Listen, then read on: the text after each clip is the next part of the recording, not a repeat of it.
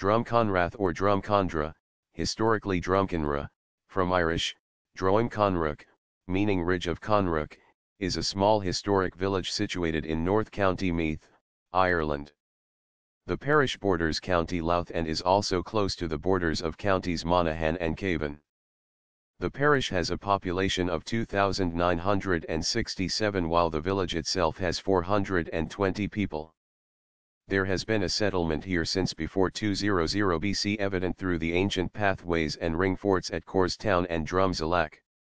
The Battle of Ballyhoe, 1539 AD, between the O'Neills and the English, took place nearby of which folklore says that a treasure was thrown into the lake during the battle and when a true Irish Gael on a white horse comes he will swoop into the lake and take it. It was literally beyond the pale being the first Gaelic settlement you meet leaving the pale from Ardee. It was a hostile place for the English who left the safety of the pale and frequent battles took place in the village. The remains of a monastery on Church Hill destroyed because of Henry VIII's dissolution of the Monastery Act, overlook Lough Bracken Lake.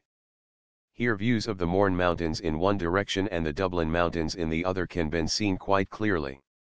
During the 1798 rebellion, five parishioners were killed by the Louth militia for refusing to allow them entry to the church in the village. The area had strong ribbonman support, a forerunner to the Irish Republican Army, and six men from the area were hanged for their part in the infamous burning of the Wild Goose Lodge murders nearby. The village kept its Republican ideals and many of the local men fought in the Tan War and the Civil War with nearby Kingscourt Brigade, the families of the Hickeys, Keenans featuring prominently.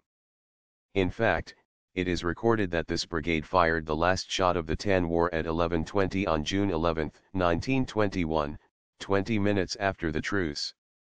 Set in forested drumlin countryside and surrounded by small lakes, it is a long-established angling center with many picturesque walking areas. Lough Bracken and the smaller lakes of Coorstown and Balruth, and the River Dee are situated in this area. The village offers many services including a GP, a post office, beauty salon, pharmacy, butchers, primary school, a grocery store and a B&B within an old store. There are two housing estates bordering the village Delaware Valera Park on the road to Nobber and Hillside View on the road to Carrickmacross. Nightlife in the village centers on three pubs in the village The Thatch, Fay S, and Muldoon S.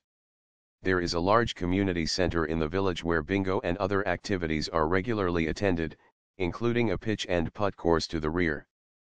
St. Peter's, Church of Ireland, now closed and St. Peter and Paul's Catholic Church. There are some burial graves surrounding St. Peter's Church which are mostly abandoned and overgrown but the village has two other cemeteries on the Ardee Road, one Catholic and one Protestant.